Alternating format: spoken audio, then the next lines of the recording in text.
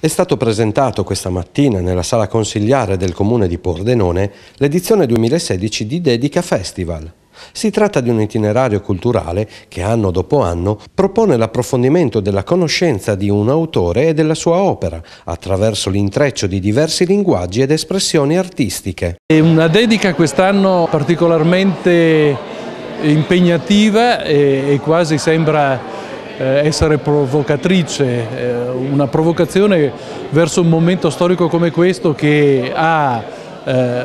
verso i paesi magrebini, verso i paesi eh, del Mediterraneo che sono i nostri dirimpettai, un momento così aspro e di continua discussione se alla fine conosciamo bene queste realtà o non le conosciamo affatto otto intense giornate per riflettere sugli avvenimenti che agitano il mondo contemporaneo, filtrati attraverso l'invenzione affabulatrice di un protagonista della letteratura mondiale. Jasmine Kadra, lo scrittore eh, algerino che avremo qui, algerino e francese, eh, ci darà la possibilità di addentrarci e di avere una testimonianza diretta di che cosa sono queste cose, di farci alla fine riflettere. E la, quello che noi vogliamo e fa parte della tradizione culturale della nostra città, quindi una grande dedica e un augurio a tutti di esserci e di partecipare attivamente.